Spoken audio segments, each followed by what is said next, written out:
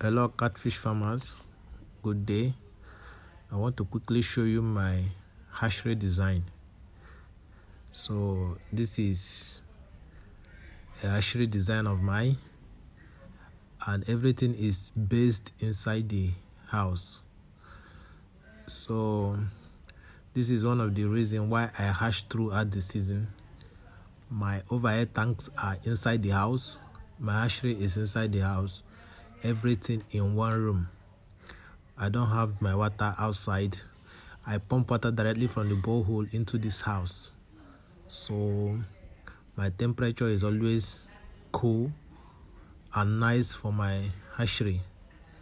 So if you can build a hatchery like this and place your tanks inside and roof it you find out that the the water outside and the one inside here they have different temperature so that is what i do here.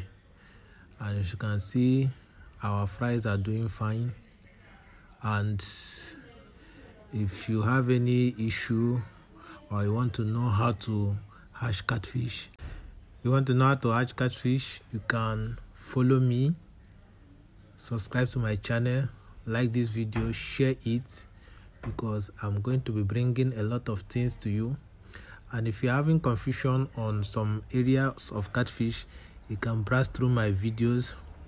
I have many videos on my channel that will show you different things that you can do in catfish farming. So this is our newly hatched fries.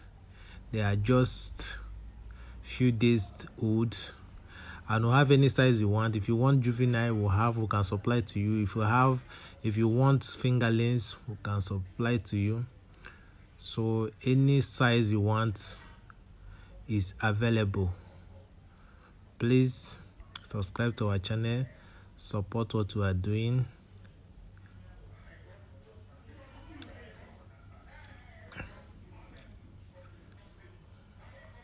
Out there and make sure if you are you, you have to be running water on your newly hatched fries for at least three weeks to four weeks steady.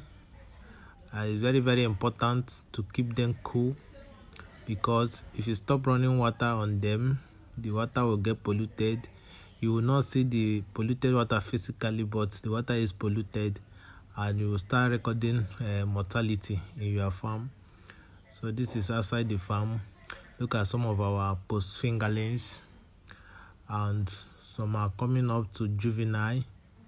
So keep sending in your orders if you want more of this fish.